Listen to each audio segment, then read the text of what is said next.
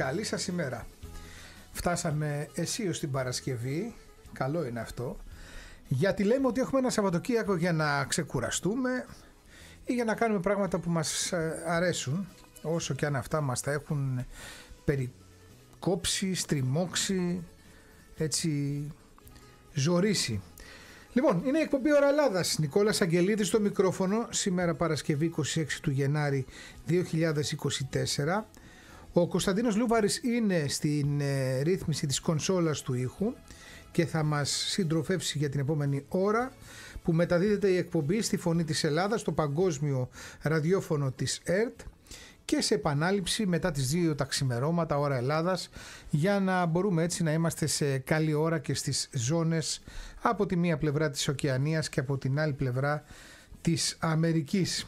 Ε, σήμερα που είναι Παρασκευή λοιπόν και λέμε να το πάμε χαλαρά, να προετοιμάσουμε και το έδαφος για ένα όμορφο ευχόμαστε σε όλες και όλους το Σαββατοκύριακο, είπαμε να ασχοληθούμε με τον πολιτισμό, όχι ότι το κάνουμε καθημερινά, αλλά σήμερα θα αφιερώσουμε όλη την εκπομπή σε θέματα πολιτισμού, σε ένα θέμα πολιτισμού. Έχουμε επιλέξει μια θεατρική παράσταση για την οποία μάθαμε, ακούσαμε, είδαμε, ερευνήσαμε και μας άρεσε και θέλουμε να σας μεταδώσουμε ακριβώς αυτό.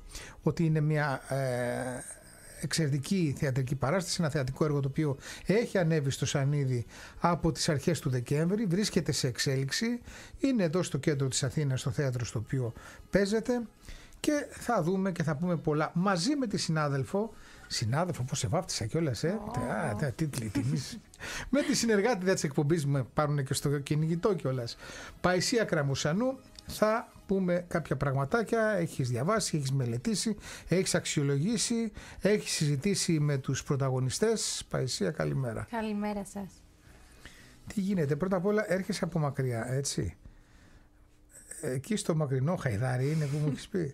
Τι γίνεται με την κίνηση, ταλαιπωρία το πρωί, ε; Ε, κάθε μέρα, αλλά τα μέσα είναι μια δύσκολη υπόθεση. Ναι, έχει καλυτερεύσει λίγο το κομμάτι των συγκοινωνιών σε ό,τι αφορά τα δρομολόγια. Δηλαδή κάποτε ήταν ένα χάος. Τώρα νομίζω, μου λέει και ο γιος μου που πηγαίνει σχολείο, ε, υπάρχουν οι ώρες δηλαδή για τους ανθρώπους που πηγαίνουν στη δουλειά, στο σχολείο τους και έχουν κάποιες υποχρεώσεις. Κάπου δεν χάνεται ή όχι, λέω βλακίες; Ανάλογα. Ανάλογα, μάλιστα. Ανάλογα τα μέσα. Δηλαδή με στο λεωφορείο και στο μετρό γίνεται ένας χαμός.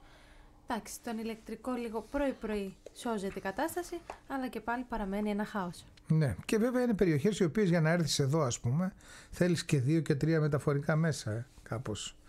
Λοιπόν, θα τα δούμε όλα αυτά. Το Υπουργείο να τα ακούει αυτά. Οι υπεύθυνοι βέβαια έχουν άλλα πράγματα να ασχοληθούν τώρα. Έχουμε τεράστια ζητήματα τα οποία βρίσκονται σε εξέλιξη, όπως τι θα γίνει με το γάμο των ομόφυλων ζευγαριών. Κατά τα άλλα πάει σε δεύτερο και τρίτο μέρος, δεν ε, συζητάνε σε επίσημο επίπεδο για την ιδιωτικοποίηση των πανεπιστημίων και το ε, τραγικό νομοσχέδιο το οποίο προσπαθούν να περάσουν και το οποίο βρίσκει μία οργανωμένη σε σχεδόν απολυτότητα εξέγερση των φοιτητών σε όλες τις πανεπιστημιακές ε, σε όλα τα πανεπιστήμια της χώρας. Και αυτό είναι εντυπωσιακό αυτό που γίνεται, γιατί οι φοιτητές με τη στάση τους έχουν ήδη κερδίσει όχι μόνο τις εντυπώσεις, αλλά και το δίκαιο του πώς πρέπει να είναι δομημένα τα πράγματα για να μην ξεφύγουμε και να μην καταλήξουμε στο ότι ε, όπως ε, ισχύει και στην Άγρια Δύση έχεις, πληρώνεις, δεν έχεις, μένεις στο περιθώριο. Λοιπόν, κοινωνίες δύο ταχυτήτων και η μία ταχύτητα του 2, 2,5 άντε και 3% είναι αυτή η οποία ελέγχει τα πάντα. Λοιπόν, έκανα τον προλογό μου, έχουμε όμως ε, την πολύ μεγάλη χαρά και φιλοξενούμε, ε, να φιλοξενούμε εδώ ε, στην εκπομπή μας την σκηνοθέτηδα και πρωταγωνίστρια της θεατρικής παράστασης η playlist μιας faultless μητρότητας, δύο λέξεις αγγλικές που νομίζω ότι δίνουν το στίγμα του τι ακριβώς είναι αυτό το θεατρικό έργο. Η Κατερίνα Πολυχρονοπούλου, η οποία πρωταγωνιστήκε στο έργο, είναι μαζί μας και την ευχαριστούμε πολύ. Καλημέρα. Καλή σας μέρα, καλή σας μέρα. Τι κάνετε, πώς είναι τα πράγματα; Όπως τα περιγράφετε γενικότερα είναι μια περίοδος, θα λέγαμε μεταβατική για πάρα πολλά πράγματα και μια περίοδος και λίγο δύσκολη ε, για την καθημερινότητά μας και για την επιβίωση γενικότερα. Ναι, φαντάζομαι εσείς έχετε περάσει τα πάνδυνα, ιδιαίτερα την περίοδο της πανδημίας. Α, ναι. Ήταν πολύ δύσκολα. Θα τα κουβεντιάσουμε αυτά. Έχει πολύ ενδιαφέρον να δούμε ε, τι έχει συμβεί, πώς είναι τα πράγματα, αν κάπως έχει υποχωρήσει όλος ε, αυτός ο ρημαγδός που σας πλάκωσε. Ε, βέβαια, το θέαμα, ο πολιτισμός είναι κάτι το οποίο το έχουμε τόσο μεγάλη ανάγκη και υπάρχει τόσο μεγάλη δίψα για αυτό που κάνετε από ένα πολύ μεγάλο κομμάτι της κοινωνίας μας και νομίζω ότι σας δίνει και εσάς από τη δική σας οπτική γωνία χαρά το να βλέπετε με πόση όρεξη έρχεται κάποιος να σας παρακολουθήσει. Ναι, αυτό που λέτε είναι αλήθεια. Μία, πόσο πολλοί, τόσες πολλές παραστάσεις δούλεψαν και δουλεύουν και συνεχίζουν να δουλεύουν πάρα πολύ γιατί ο κόσμος ανταποκρίνεται, γιατί το έχει ανάγκη, γιατί η αμεσότητα του θεάτρου είναι μοναδική. Ναι.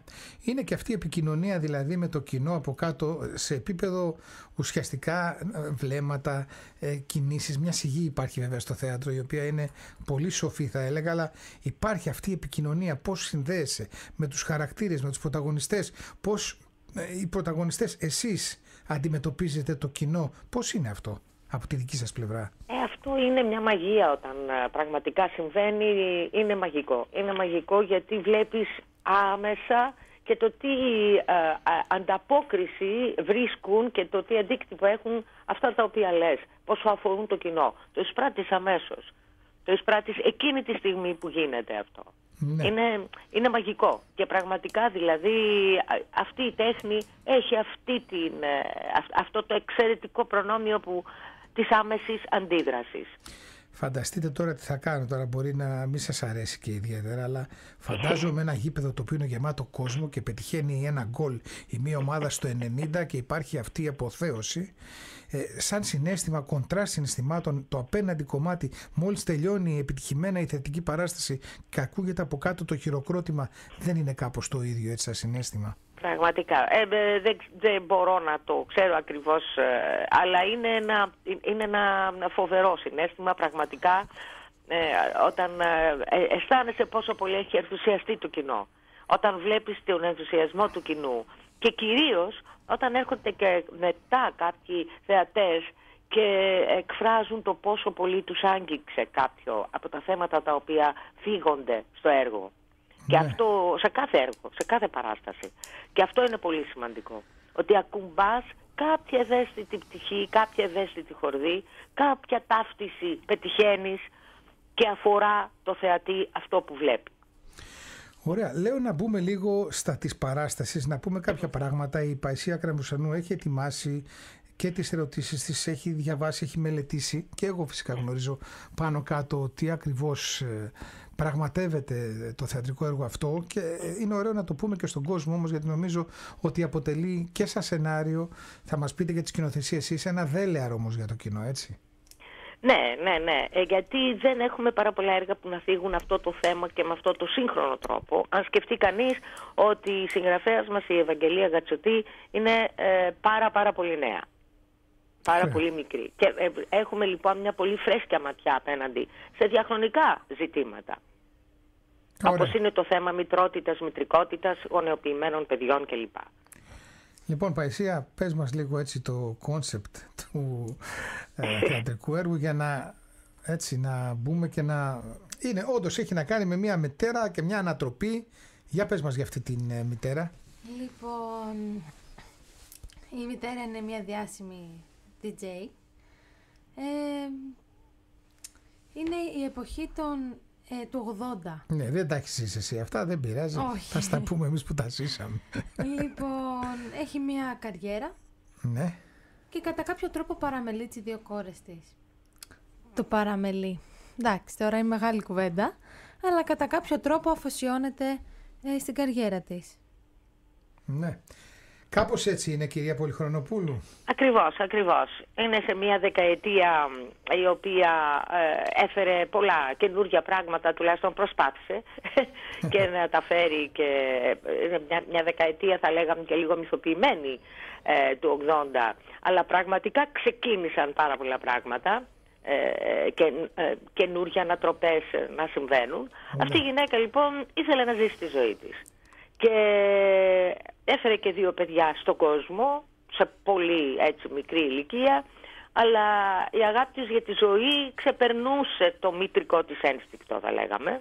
Ναι. Και αυτό έχει σαν αποτέλεσμα τα παιδιά να έχουν την απώλεια ουσιαστικά της μητέρας.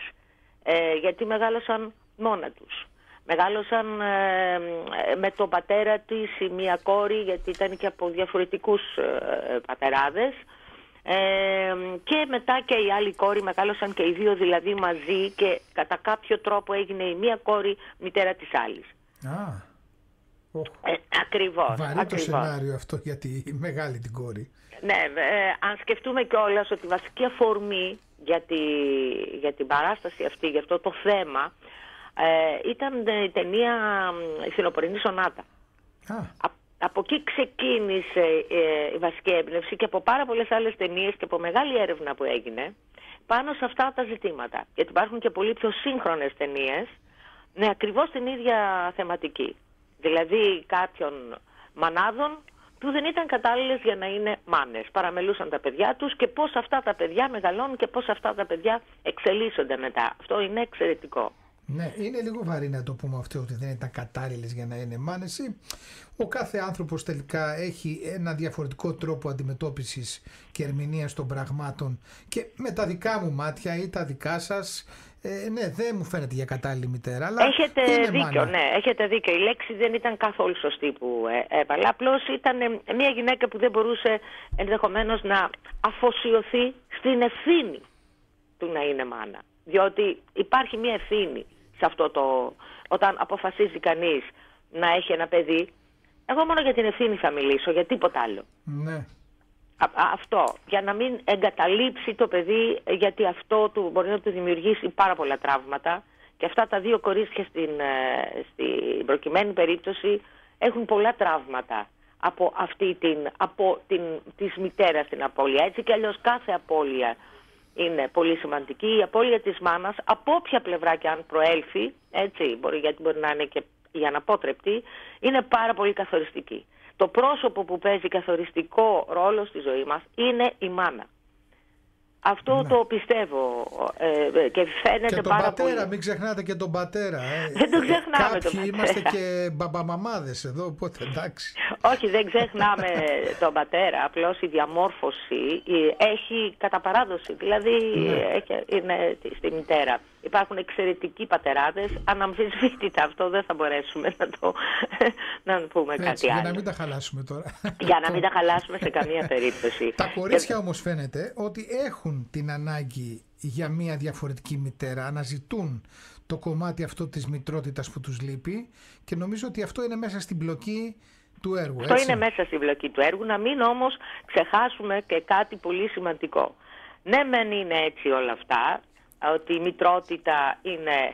η- ε, Έτσι, υπάρχει η μητρότητα, υπάρχει όμως και η μητρικότητα. Τελικά, αυτό είναι ένα ερώτημα.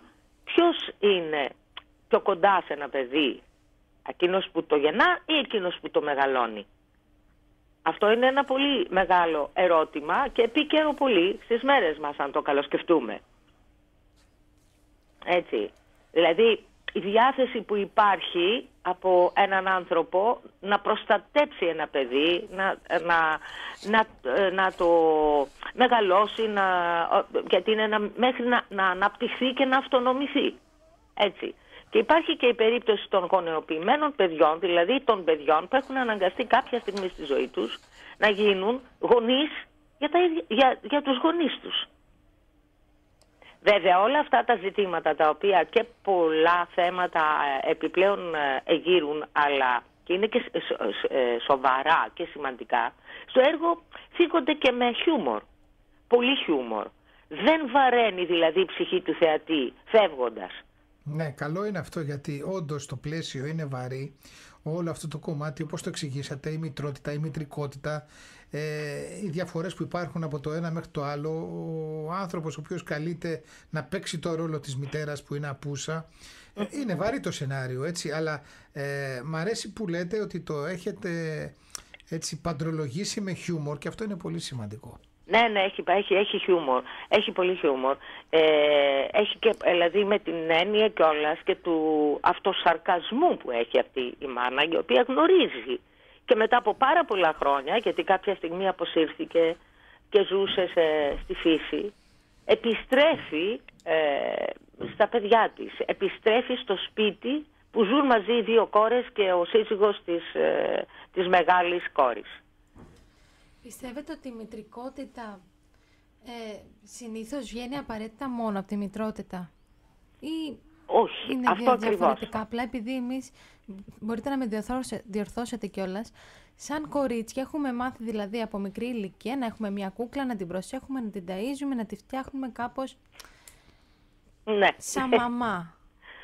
Ναι, αυτό εδώ είναι, αυτά είναι τα στερεότυπα τα οποία έχουμε πάρα αιώνες τώρα. Έτσι, ας πούμε, αυτό είναι το στερεοτυπικό. Από την άλλη όμως, βλέπουμε σιγά σιγά ότι η γυναίκα πια θέλει να κάνει και καριέρα, θέλει να προχωρήσει στη ζωή της, θέλει να ζήσει τη ζωή της. Και έτσι ε, ανατρέπεται σιγά σιγά αυτή η αποκλειστικότητα. Αυτός ο τρόπος ζωής, αυτή η κατεύθυνση ζωής, έτσι δεν είναι. Ακριβώς. Ενώ ε, μπορεί να υπάρχει μητρικότητα χωρίς να υπάρχει μητρότητα. Ακριβώς. Αυτό να είναι το ζήτημα. αυτά τα συναισθήματα χωρίς να έχεις γεννήσει. Ακριβώς και ακριβώς. Και αυτό καταλαβαίνετε ότι οδηγεί και σε πάρα πολλούς άλλους δρόμους. Δηλαδή ε, ε, το ποιος τελικά μεγαλώνει, φροντίζει, ε, αγαπάει, δίνει δηλαδή τα πάντα αυτά που χρειάζεται ένα παιδί για να μεγαλώσει και να δημιουργήσει τη δική του προσωπικότητα, αυτός ο άνθρωπος είναι πολύ σημαντικός. Ναι, πάμε. Τώρα, τραγούδι. Έτσι για να το σπάσουμε λίγο και να πούμε και στη συνέχεια της πολύ ενδιαφέρουσας κουβέντας. Άνθρωπε αγάπα.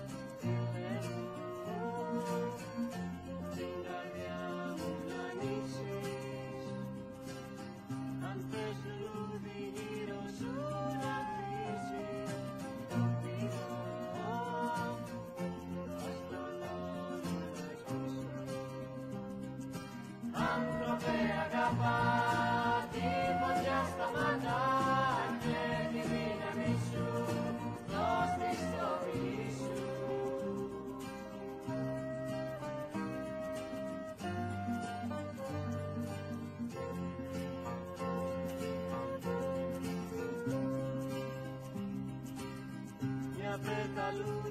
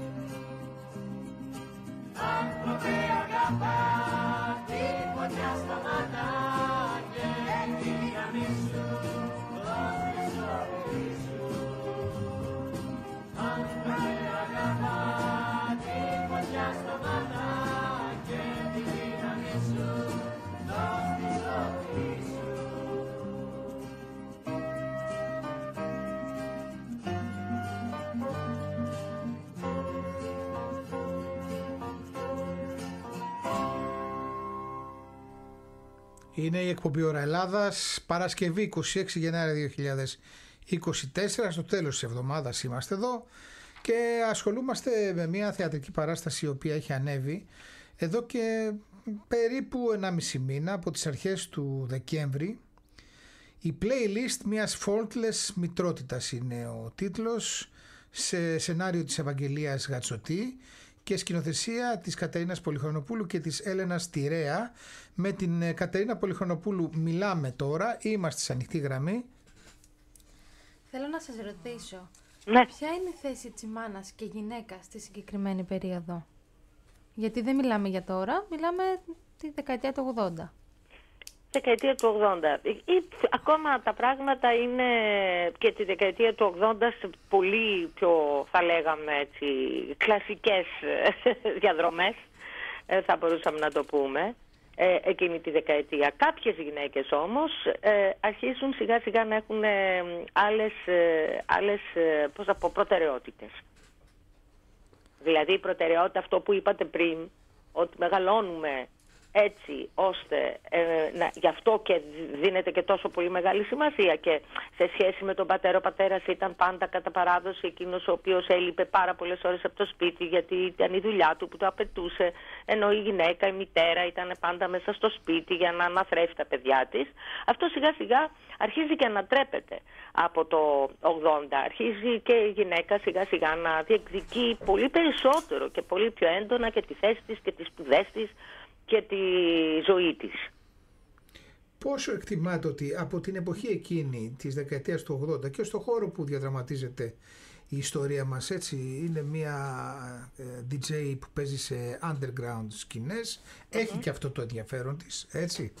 Και φτάνουμε στη γυναίκα του τότε που έχει απεμπολίσει το ε, ενδιαφέρον της ως μητέρα όσο θα έπρεπε τέλος πάντων τι λάθος λέξη και αυτό το πρέπει τέλος πάντων. Και βρισκόμαστε στο σήμερα που έχουν αλλάξει τα πράγματα. Στην ουσία έχουν αλλάξει αρκετά τα πράγματα ή θέλουμε ακόμα πάρα πολύ δουλειά για να μπορέσουμε να πούμε ότι ο άντρας είναι ό,τι είναι και η γυναίκα είναι ό,τι. Δηλαδή, να μην είναι κάτι διαφορετικό. Ο άντρας και η γυναίκα, ή ο, ο άντρας μου, ξέρω εγώ, ή η γυναίκα μου. Μα πόσο λάθος ακούγεται αυτό το μου.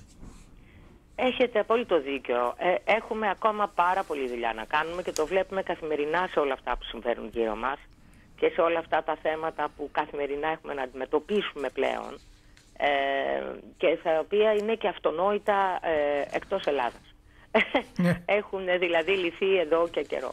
Δύο ε, προσωπικότητες, δύο ενήλικες αποφασίζουν να ζήσουν μαζί. Αποφασίζουν να κάνουν ε, ένα παιδί ή να έχουν εν πάση περιπτώσει ένα παιδί. Αυτό είναι σημαντικό. Και το σημαντικό είναι και το πώς θα μεγαλώσεις αυτό το παιδί. Τι θα μπορέσεις να του προσφέρεις εννοώ και για την, θα λέγαμε, τη συναισθηματική του οριμότητα σιγά σιγά ε, που την έχει πάρα πολύ μεγάλη ανάγκη γιατί αλλιώς μπορεί να μεγαλώσει με χαμηλή αυτοεκτίμηση, με ένα φόβο εγκατάλειψης έτσι, και να δυσκολεύεται επίσης τις δικές του προσωπικές σχέσεις μεγαλώνοντας. Ναι. Είναι η κοινωνία έτοιμη να δεχτεί όλο αυτό που μας λέτε ή η κοινωνία είναι εμπολιασμένη σε ένα πολύ μεγάλο κομμάτι της από όλα τα πρέπει και αυτά που επιβάλλει ε, ο τρόπος λειτουργίας μιας δομής κρατικής ας πούμε, αστικής κρατικής. Ναι, κοιτάξτε, δυστυχώς έχουμε ακόμα πάρα πολλή δουλειά σε αυτό το τομέα. Οι, οι, οι, βελτιώνονται τα πράγματα, αλλά ακόμα δεν είναι σε κατάσταση. Δεν είμαστε όριμοι σαν κοινωνία για να δεχτούμε κάτι τέτοιο. Να πω και ένα ακόμα ζήτημα το οποίο υπάρχει στο έργο. Έτσι, η μία η κόρη ε, ε, έχει κινητική βλάβη. Σκεφτείτε λοιπόν, ε, να σκεφτούμε λοιπόν ότι πώς, πόσο έτοιμοι είμαστε να, να δεχτούμε τους, όλους αυτούς τους ανθρώπους και πόσο έτοιμη είναι η ίδια η κοινωνία και για άλλα ζητήματα και η καθημερινότητά τους μάλλον των ανθρώπων αυτών. Πόσο έτοιμοι είναι που δεν είναι προσβάσιμοι ούτε καν οι δρόμοι για να μπορούν να κυκλοφορούν ελεύθερα, άνετα Καταλαβαίνετε, όπως Ναι, ναι. όλοι μας. Και υπάρχει και η παιδεία των ανθρώπων. Βλέπετε, ας πούμε, σε ένα πάρκινγκ που είναι ε, με το σήμα των αναπήρων, πώς παρκάρει ο καθένας αδιάφορα Ακριβώς, και ανέμελα. ακριβώς. Πολύ. Όχι όλοι μας. Έτσι, κάποιοι εκνευριζόμαστε μέχρι σημείου, δηλαδή να, να, να περιμένουμε να δούμε ποιος είναι αυτός ο κόπανος, με συγχωρείτε για τη λέξη που. Κι όμως μπορεί να τον δεις και να σου πει: Έλα, μωρό, δύο λεπτά βγήκα να πάρω ένα γάλα. Δηλαδή, ο άλλος που έχει την αναπηρία δεν έχει, σαν και σένα, το δικαίωμα να βγει όποια ώρα θελήσει να πάρει ένα γάλα και εσύ του το στερείς, για παράδειγμα. Και αυτό και να μπορεί να πάει, να μην είναι κλεισμένος μέσα σε ένα σπίτι, να μπορεί να πάει σαν άνθρωπος, να, να, να, όπως όλοι μας, να πιει κάπου ένα καφέ, δεν είναι, να, να, να ψωνίσει ακριβώς όπως λέτε, να έχει όλη αυτή την ανεξαρτησία που έχουμε κι εμείς. Αλλά για να μπορέσει να, να, να το έχει όλα αυτά, πρέπει να έχει προσβασιμότητα από πα- παντού, να υπάρχει προσβασιμότητα παντού. Δυστυχώς αυτά δεν τα έχουμε προβλέψει. Δίκιο έχετε, πολύ δίκιο. Καταλάβετε, αυτά είναι ζητήματα πάρα πολύ σημαντικά που στις μέρες μας πρέπει σιγά σιγά αυτά να αλλάξουν σαν νοοτροπίες που είναι βαθιά ριζωμένες, πολύ βαθιά ριζωμένες. Όλες αυτές οι νοοτροπίες όπως ε, πολύ σωστά είπατε, συγγνώμη, όπως πολύ σωστά είπατε. Ο Πάρα πολύ. χαρακτήρας Και- μας. Συγγνώμη, Ναι, ναι, συγγνώμη. Συνεχίστε. όχι εσείς, εσείς. Ωραία. ε, Ο χαρακτήρας της παράστασης αντιμετωπίζει δυσκολίες με τα κοινωνικά στερεότυπα. Έχει αδιαφορήσει για όλα αυτά. Η μητέρα έχει αδιαφορήσει για όλα αυτά. Ζούσε στον κόσμο της, με τις μουσικές της, καταλαβαίνετε, και με όλα τα υπόλοιπα που είχε η εποχή εκείνη σε, ε, στα κόκκινα, ένταση μεγάλη, ε, ουσίες, νο- ε, αλκοόλ κλπ. Όλα αυτά τα έζησε αυτή η γυναίκα ε, και δεν, δεν υποτάχτηκε, δεν την ενδιέφερε τι θα πει ο κόσμος. Εξάλλου και για γυναίκα DJ εκείνη την εποχή ε, ήταν κάτι, καταλαβαίνετε, πο, Ναι, πολύ πρωτοποριακό. μπροστά. Πολύ μπροστά, ακριβώς. Πολεμήθηκε και γι' αυτό. Δεν ήταν ότι αμέσως τη δέχτηκαν με ανοιχτές αγκάλες σε μια τέτοια δουλειά, η οποία ήταν κατά παράδοση αντρική.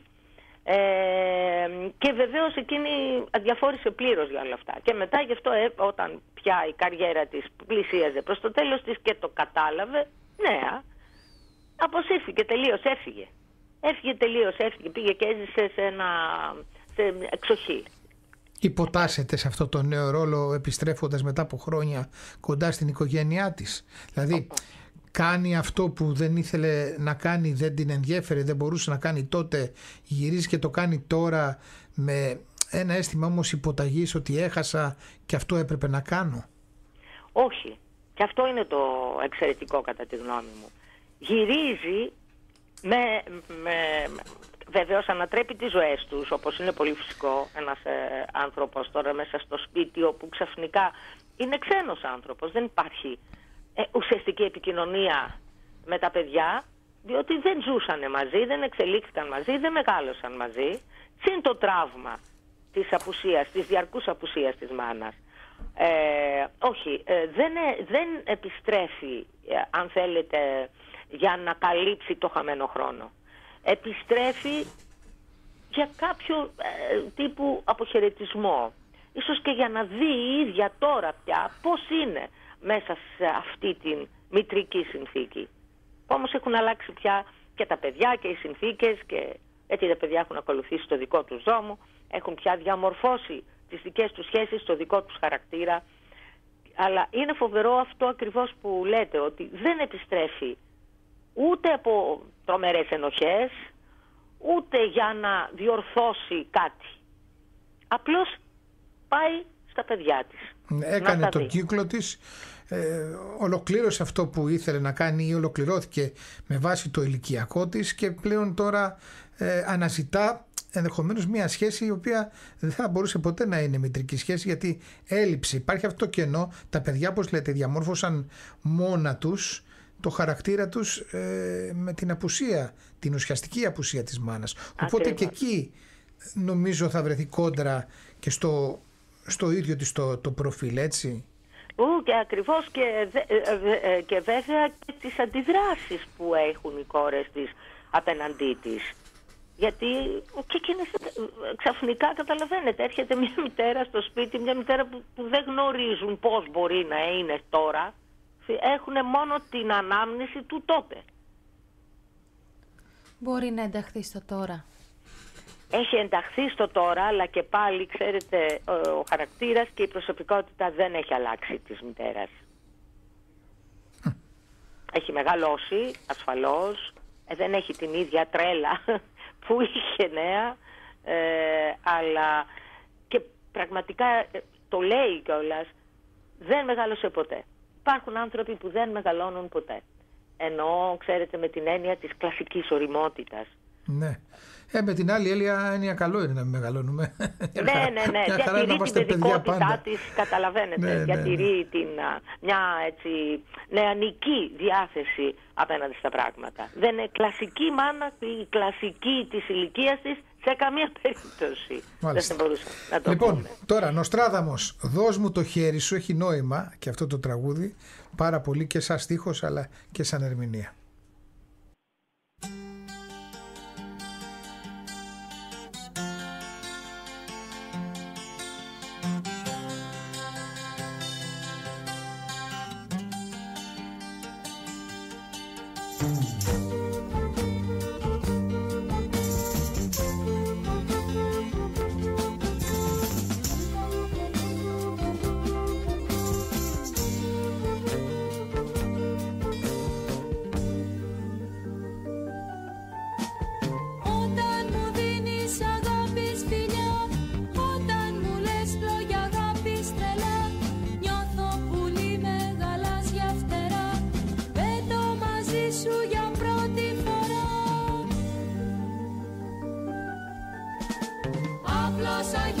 casa digna, plata.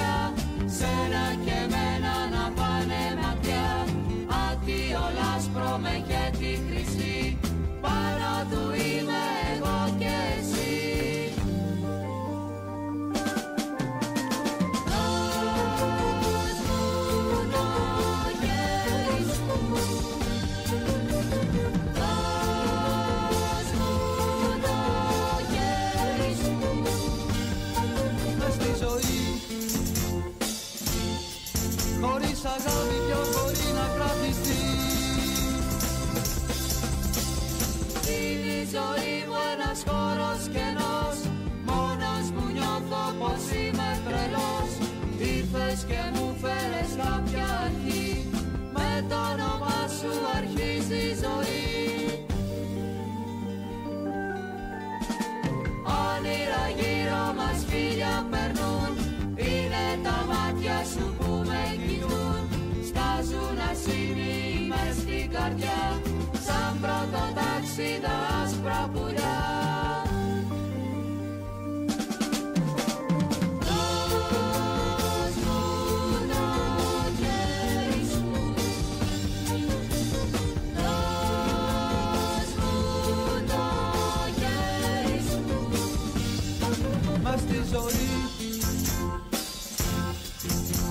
αγάπη ποιος μπορεί να κρατηθεί Δώσ' μου το χέρι σου Δώσ' μου το χέρι σου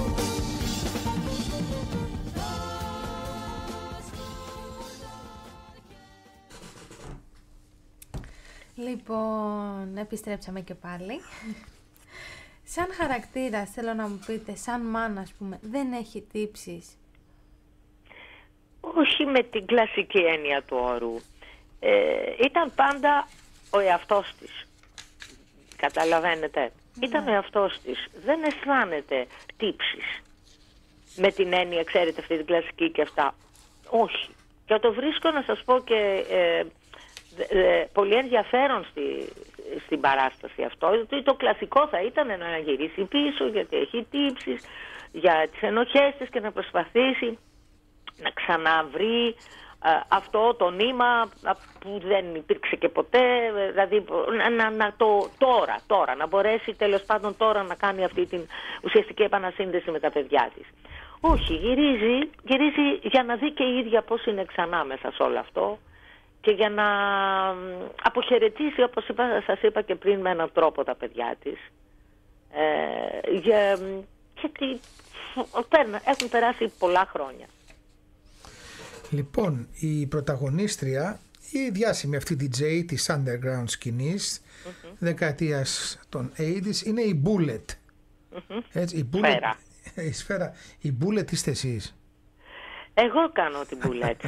Μα τόσο, ξέρετε τόσα πολλά για το χαρακτήρα της τέλος πάντων. Έχει περάσει το πετσί σας, αυτό κατάλαβα εγώ. ναι, και μάλιστα, και μάλιστα το 80 ε, ήμουνα κι εγώ στη σωστή ηλικία Εντάξει.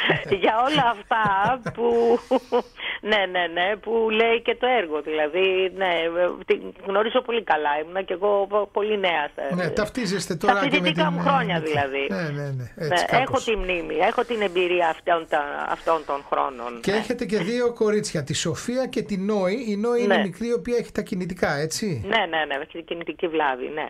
Και βέβαια στην ε, συμμετοχή έχει και ο τέταρτος, ο άντρας της παρέας, ο οποίος είναι ο, Ο οποίος ε, είναι ο Βίκτορας. ο Βίκτορας, έτσι. Ο Βίκτορας είναι ένας ζεν πρεμιέ έτσι, της ε, τηλεοπτικός στάρ.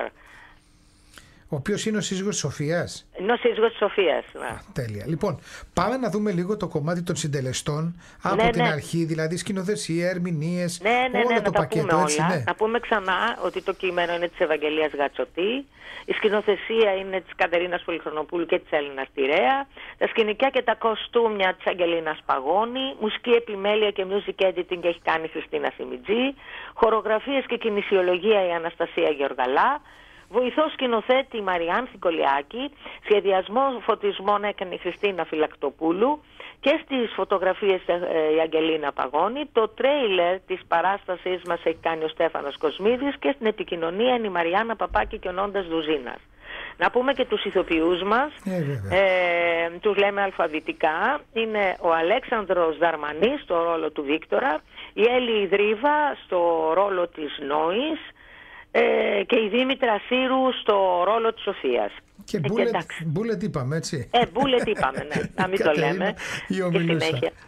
ναι. Λοιπόν, βλέπω εδώ και έχει πάρα πολύ ενδιαφέρον ε, όλο το κομμάτι αυτό που μας είπατε. Ε, να πάμε να πιάσουμε τώρα και το χώρο στον οποίο εξελίσσεται βέβαια, η βέβαια. παράσταση. Η παράσταση παίζεται κάθε Σάββατο το απόγευμα στις 6 και 4 και την Κυριακή το βράδυ στις 9 και 4 στο πολυχώρο Volt που είναι εκεί στο Γκάζι, στο Βοτανικό. Ναι. Το πολυχώρο, ναι, είναι στη Μελενίκου 26. Μελενίκου 26 λοιπόν στο Γκάζι, στο Βοτανικό, ο πολυχώρος Volt Theater Plus. Εκεί μπορείτε να δείτε το Σάββατο και την ε, Κυριακή, το Σάββατο στις 6 και 4 και την Κυριακή στις 9 και 4 τη θεατρική παράσταση η playlist μιας φόρτλες μητρότητας για την οποία παράσταση μιλάμε τώρα με την ε, Κατερίνα Πολυχρονοπούλου που έχει κάνει τη σκηνοθεσία και πρωταγωνιστή ε, ξεκίνησε αρχές του Δεκέμβρη, έτσι να πούμε λίγο για το Ναι, κομμάτι της υποδοχής. Πώς το είδατε εσείς, δηλαδή ε, τράβηξε, ήρθε ο κόσμος, είστε ευχαριστημένοι; Ναι, ναι, ναι, ναι, βέβαια, βέβαια.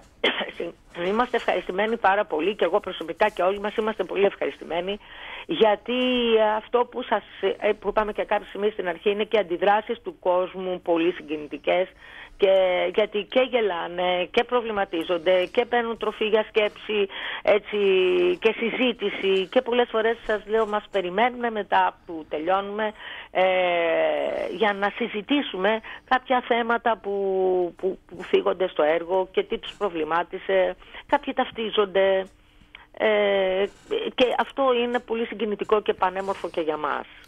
Ωραία, εισιτήρια μπορεί να βρει οποιοδήποτε στο more.com, είναι το πρώην ε, Viva, έτσι.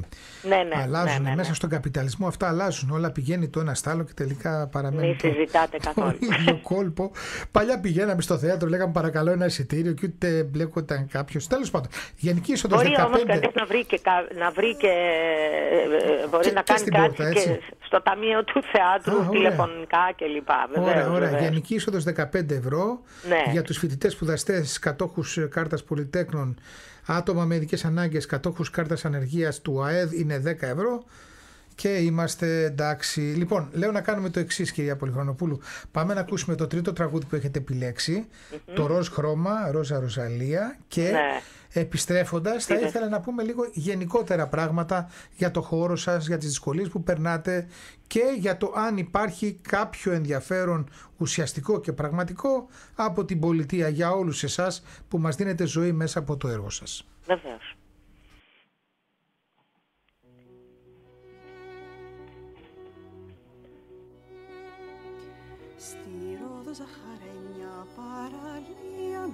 Μιλούσαν όλοι για τη Ρόζα Ροζαλία που είχες στα δυο της μάγουλα λιγάκι κρέμα φράουλα και έβγαζε βόλτα μες στη Ρόζα Ανατολή.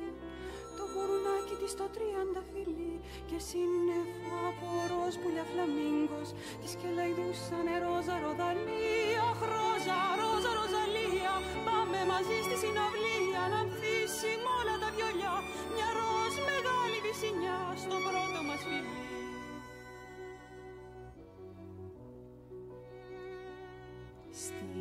Ζαχαρένια παραλία μιλούν ακόμα για τη Ρόζα Ροζαλία και λένε πως την άνοιξη σαρόδινη ανάμνηση περνάει πέρα μες στη Ρόζα Ανατολή.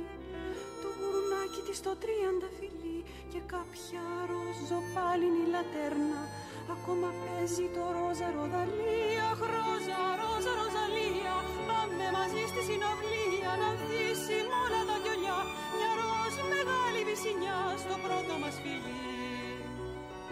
охрана!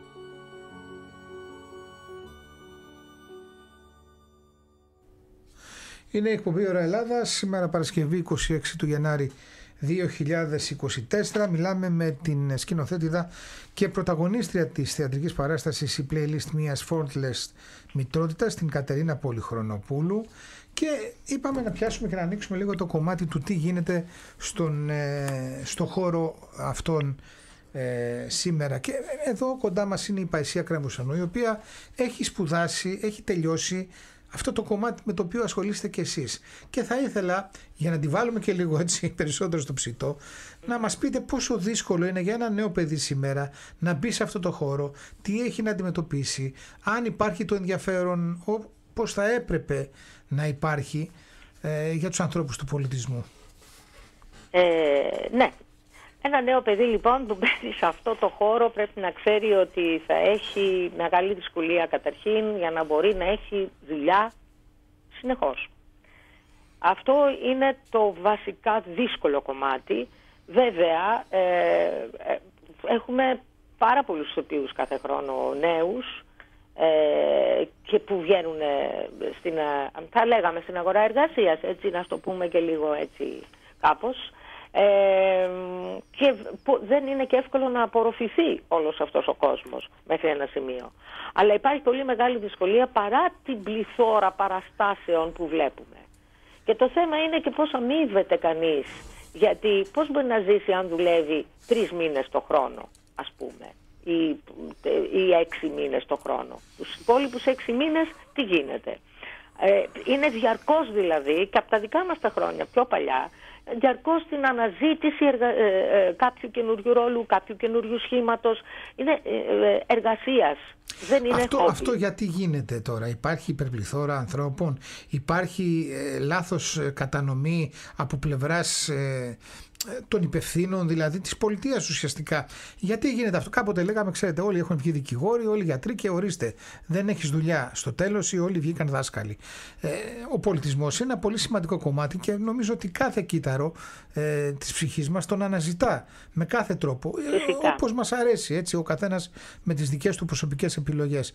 Ε, γιατί γίνεται αυτό, τι λάθος έχει πάει, λέτε; Κοιτάξτε, είναι, είναι πολλά τα, τα ζητήματα. Δηλαδή και όλος αυτός ο κόσμος δεν μπορεί να απορροφηθεί από την άλλη. Υπάρχουν κάποιοι άνθρωποι οι οποίοι δουλεύουν παντού σε όλα. Τους συναντάς και στην τηλεόραση, τους συναντάς και στο θέατρο, τους συναντάς και στον κινηματογράφο.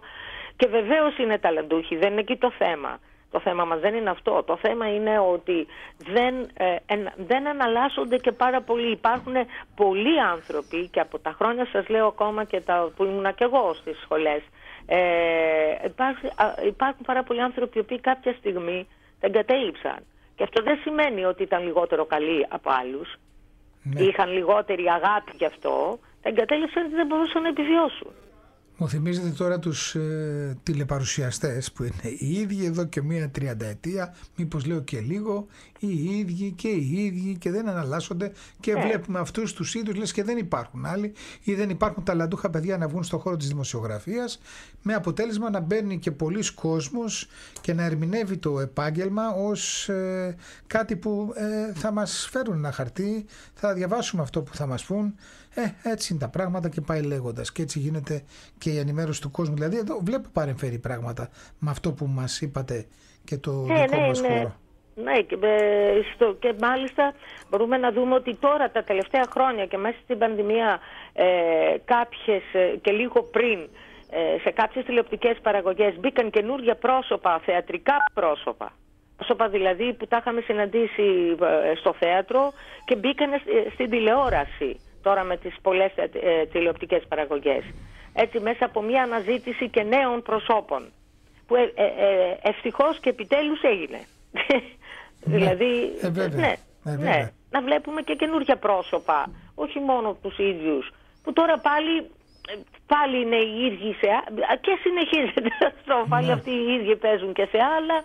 Εντάξει, ίσως και μέσα σε ένα παιχνίδι εμπορικότητας θα λέγαμε, γιατί όσοι παίζουν στην τηλεόραση κάνουν και θέατρο μετά και είναι μια λυσίδα που αυτή δεν δίνει την ευκαιρία να ψάξουμε και να ανακαλύψουμε νέους ανθρώπους με δυνατότητες πολλές. Που υπάρχουν δηλαδή. Ε, συγγνώμη. Ε, εγώ συγγνώμη. Βλέπουμε νέα παιδιά να θέλουν να ασχοληθούν με το κομμάτι της τέχνης, όχι απαραίτητα του θεάτρου, ό,τι έχει να κάνει με αυτό, σαν ε, ναι. τέχνη.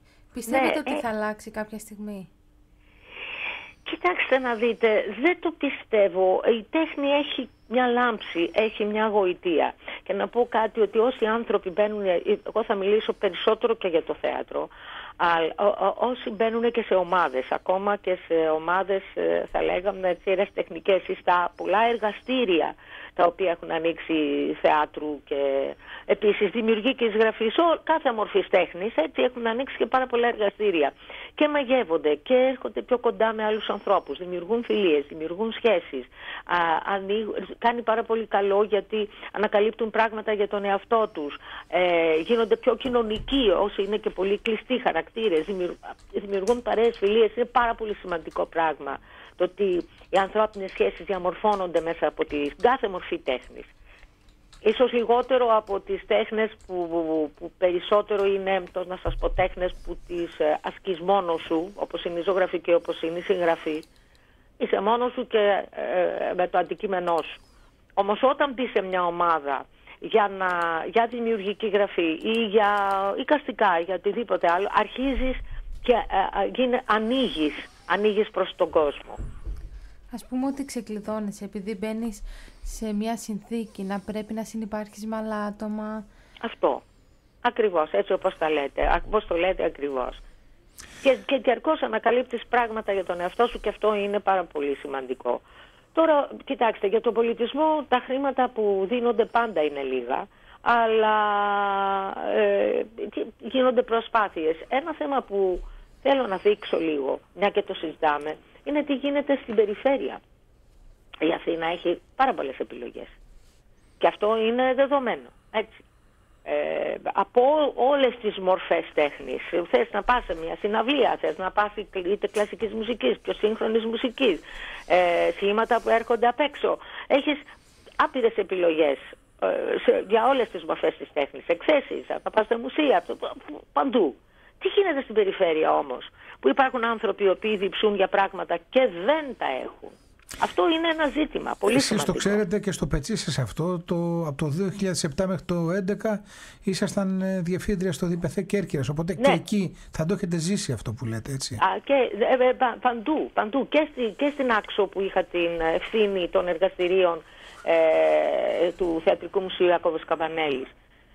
Ε, Βλέπεις λοιπόν που εκεί γίνανε πάρα πολλά εργαστήρια και πάρα πολλά νέα παιδιά ερχόντουσαν όχι για να γίνονται και καλά ηθοποιοί να ασχοληθούν με μια μορφή τέχνης αν και κάποιοι ανακάλυψαν και ταλέντα που είχαν μέσα από αυτά τα εργαστήρια και αυτό ήταν ε, και για μας πάρα πολύ, πάρα πολύ ενδιαφέρον είναι πολύ σημαντικό ξέρετε Ναι. να τους δίνεις ε, τα, τε- τα εφόδια, τα ερεθίσματα για να αποφασίσουν διάφορα πράγματα για τη ζωή τους και διάφορα πράγματα για να, για να δούνε για τον εαυτό τους. Εκεί λοιπόν τα πράγματα όσο πε- ε, περνάει ο καιρός είναι λίγο, ε, αντί για καλύτερα θα έλεγα είναι λίγο χειρότερα. Αυτό είναι Στεναχωριέμαι κάτι που το το ακούω οποίο- για να σας είμαι ειλικρινής. Ε, λοιπόν, έχουμε ένα λεπτό στη διάθεσή μας, Α. σκάρτο και αυτό δυστυχώς. Θα ήθελα να αναφερθούμε λίγο και στο κομμάτι των παιδιών, γιατί έχετε σκηνοθετήσει έργα για παιδιά. Ε, έχει μεγάλη διαφορά το ένα με το άλλο. Τώρα μιλάμε για ένα Ναι. έργο που είναι, φαντάζομαι, πολύ διαφορετικό από ότι να σκηνοθετήσει ένα έργο για παιδιά. Ναι, Θα πρέπει να είναι, πιο εύπεπτο, δεν, δεν ξέρω. Πείτε μας. Δεν είναι ακριβώς πιο εύπεπτο, είναι το τι μηνύματα θέλεις να περάσεις και στο, στο παιδί, ε, το οποίο πρέπει να το αντιμετωπίζεις ε, όχι ακριβώς και σαν ενήλικα, αλλά ούτε και σαν παιδάκι, καταλαβαίνετε Ναι, με το όλο χαζό αυτό παιδάκι που που δεν ξέρει, σημαίνει ναι, το ναι, σωστά. υποκοριστικό. Ναι, και εκεί είναι πολύ λεπτή η ισορροπία, γιατί έχουν αλλάξει πια και οι απαιτήσεις των παιδιών να σκεφτούμε ότι παλαιότερα δεν υπήρχε στο, στο μυαλό μας, εμάς που ήμασταν νέοι τη δεκαετία του 80 που λέγαμε, Ναι. δεν υπήρχε υποψία υπολογιστών, κινητών τηλεφώνων με ό,τι αυτό σημαίνει. Ου, με τίποτα. Με τίποτα. Δεν υπήρχε ούτε καν σαν υποψία Ναι, στο ναι, μυαλό μας. των μελετητών, των ερευνητών τότε. Καθόλου. Και τώρα τα παιδιά μεγαλώνουν με αυτά. Άρα μιλάμε για εντελώς άλλα ερεθίσματα που έχουν και πρέπει να συμβαδίζει κανείς όσο γίνεται για να μπορεί να έρθει κοντά στο παιδί. Κοντά στον έφηβο, κοντά στον νέο άνθρωπο που έχει άλλους προβληματισμούς και άλλες αγωνίες ή διαφοροποιημένες. ναι. Α, Έτσι, όχι άλλες άλλες εκβάθρων, αλλά διαφορετικά Έχουν εκφράζονται. εξελιχθεί. Σωστά, σωστά. Λοιπόν, Αυτό. σας ευχαριστούμε πάρα πολύ. Να είστε καλά. Ευχαριστούμε για σας την παρουσία ευχαριστώ. σας. Και Πάντα εγώ σας επιτυχίες. Θα έρθουμε να δούμε και το έργο Να οπωσδήποτε. σας περιμένουμε. Έτσι, έτσι. σας περιμένουμε. Και κλείνουμε Βεβαίως. με το τελευταίο τραγούδι με τον Κώστα Τουρνά. Κυρίες και κύριοι, δεν υπάρχει νομίζω καλύτερος αποχαιρετισμός. να είστε καλά, ευχαριστούμε. Να είστε καλά, ευχαριστώ και εγώ πολύ. Γεια σας.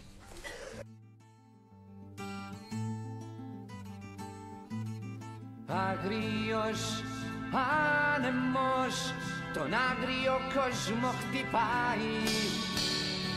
Αγρίος ο καιρός κι η μέρα στα πέλαγα πάει Αγρίο ψέμα τον άγριο κόσμο θερίζει. Αγρία η βρωμιά το μέσα μας άργα κερδίζει.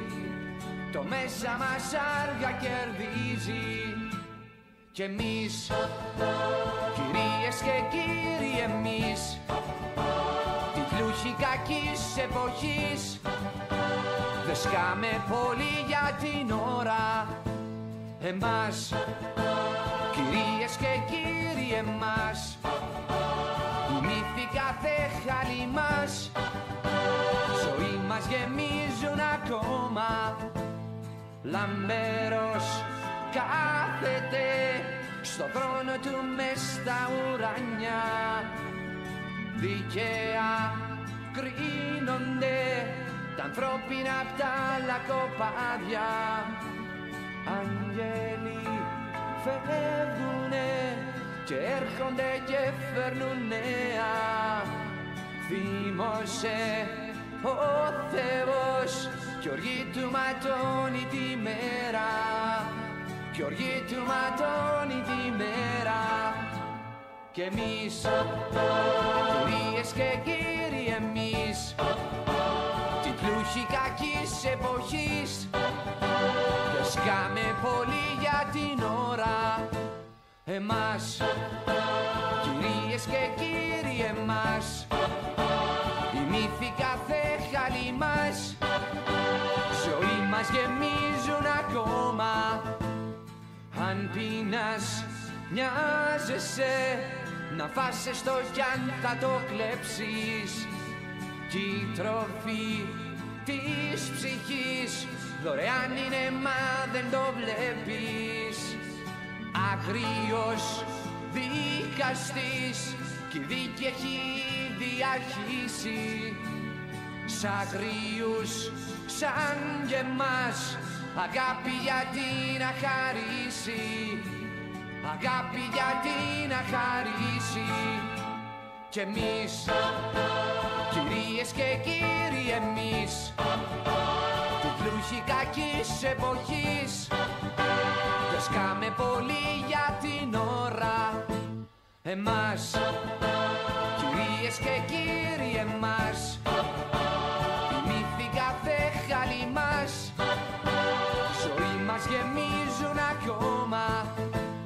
εμείς. Κυρίες και κύριοι εμείς. Την πλούχη κακής εποχής.